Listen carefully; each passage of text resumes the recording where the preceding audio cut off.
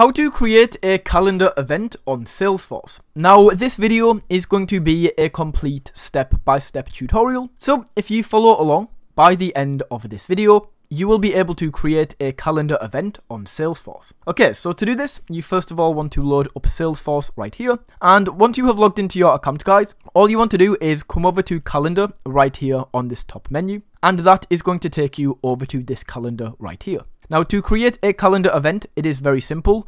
Uh, you basically just want to go to the time and the date that you want to put this event for.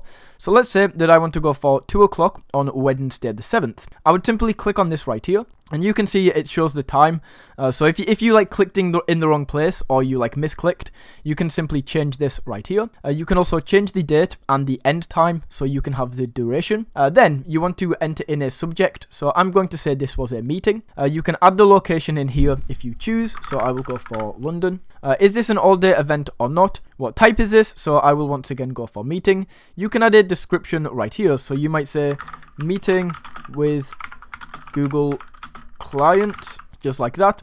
You can then choose who this is assigned to, so if this is assigned to you or another member of your team. And then you can also choose if Salesforce is going to send you a reminder, and if so, how long before the event. Once that is done, we can go ahead and click save.